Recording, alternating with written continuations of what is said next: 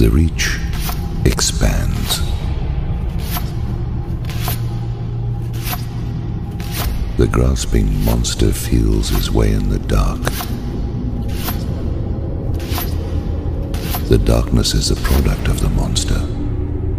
The monster is controlled by a collection of monsters who created the impetus for it.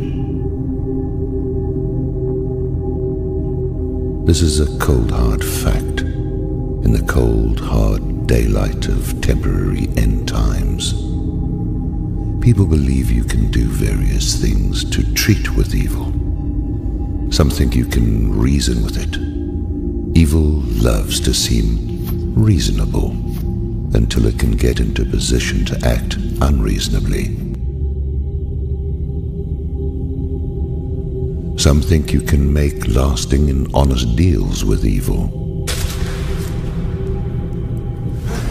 Some think you can swim with the flow until some shoreline appears to grant you safe harbor. There is only one thing you can do in terms of evil, and that is to resist its appearance inside of you.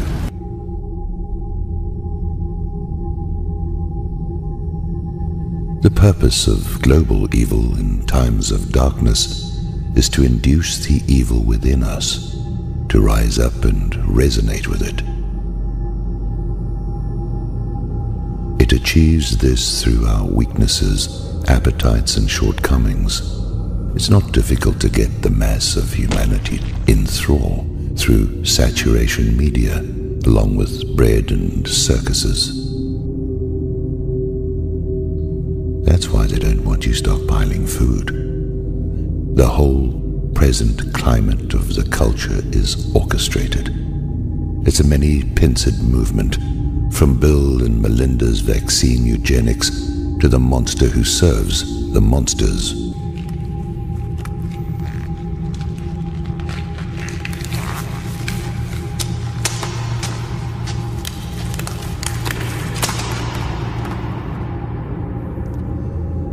When we say that something is monstrous, we refer to behavior or conditions which are unacceptable to our usual perception of the human estate.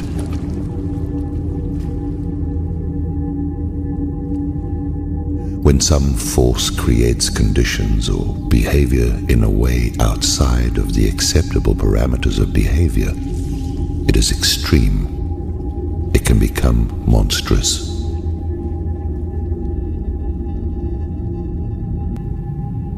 It is also monstrous to define your behavior as acceptable when it is not.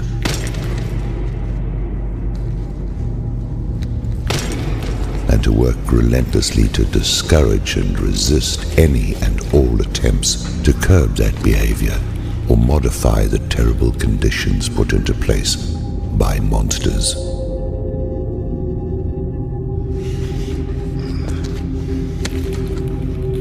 The march of the monsters is a slow and steady treading. It is an international march that is actually driving humanity into the sea. At no time has anyone ever taken over the whole world, and no one ever will.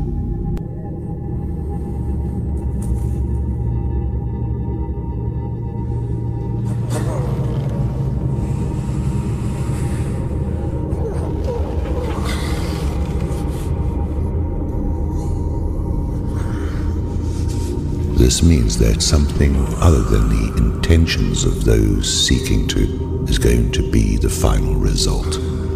What it also means is that soon enough, nothing is going to be what it was before because everything before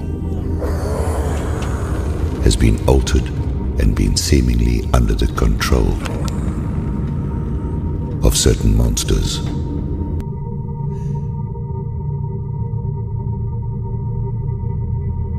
You're getting hosed in your clothes by a naked emperor.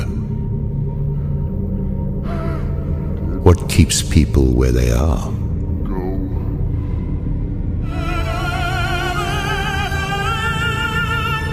Attractions and attachments keep them there.